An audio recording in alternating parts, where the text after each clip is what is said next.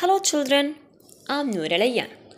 In this video, we are going to learn how to tell time.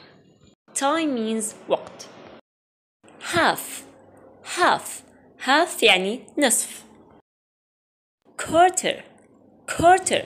Quarter يعني ربع quarter to.